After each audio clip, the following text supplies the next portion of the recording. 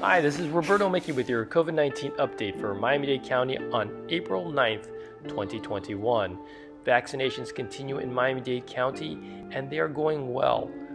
32.1% of the population has been vaccinated, representing 899,669 individuals. 19.4% of the population has completed one of the three vaccination series. That represents 543,351 individuals. This is the vaccination dashboard for Miami Dade County hospitals and the city and county facilities. There were zero vaccines received today, and 8,426 vaccines were administered. 110,975 vaccines are available in Miami Dade County, and no vaccines were wasted. Overall, yesterday, Miami Dade County vaccinated 22,000 individuals. That's just a little bit under 1% of the population. Miami Dade County has 587 admitted patients with COVID 19 in hospitals.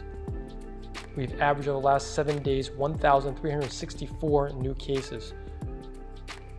Based on our linear regression model, this should translate into 671 admitted patients, and this is 12.6% above what we have currently.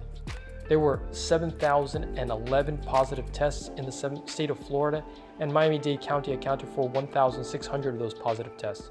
The percentage of positive tests was 7.15%, and the 14 day average was 6.86%. New admissions were 73, discharges outpaced admissions 97 to 73, and ventilators are still readily available with 547 currently in Miami Dade County, if you are over the age of 16, you are a candidate for a vaccine. This is the website from Miami Dade County for more information on vaccinations. Everyone out there, stay safe, wear a mask, and if you like this video, hit the like button and hit the subscribe button and help out the channel. Thanks a lot.